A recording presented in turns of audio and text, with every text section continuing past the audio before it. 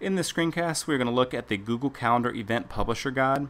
I use this site for two things. First, to create a button that allows people to save an individual event from my site.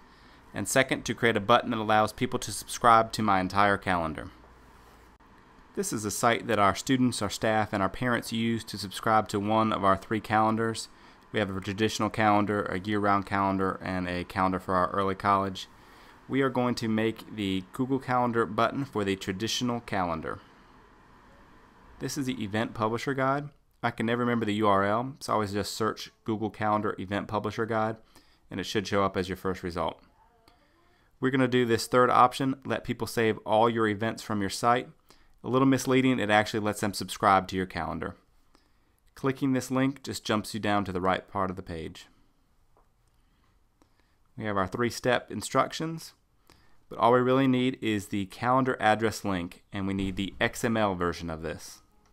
In my Google Calendar, I do have my traditional calendar, which is the one we want to share. So I'm going to click the little triangle next to it and click Calendar Settings. If you scroll down, there is a section for calendar address, and we want this XML version. So I'm going to click XML.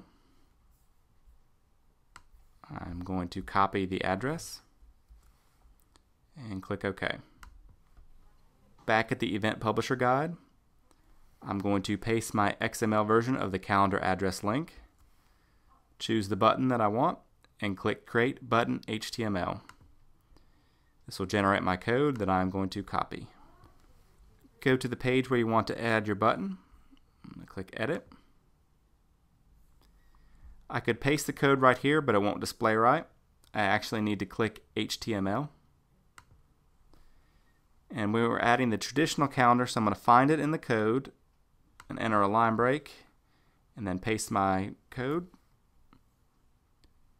Preview and my code should show up as a button. Perfect. Click update and I'm going to save my changes. When someone visits the page they have the option to subscribe to any of our three calendars. I'm going to click on my traditional calendar It'll pop you over to Google Calendar and give the option to add this calendar. Sometimes I don't want to actually send people to a page to subscribe to a calendar. I prefer just to put it in an email.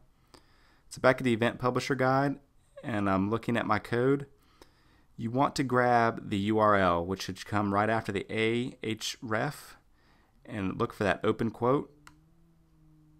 Start copying until you get to the next quote.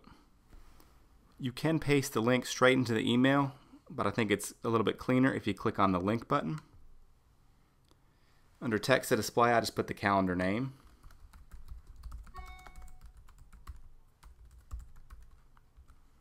And I'm going to paste the URL for the web address and click OK. And now we have a nice clean link that I will send. Now when they receive the email, they'll just have to click the link and it should pop them over to the Google Calendar and again give the option to yes, add this calendar.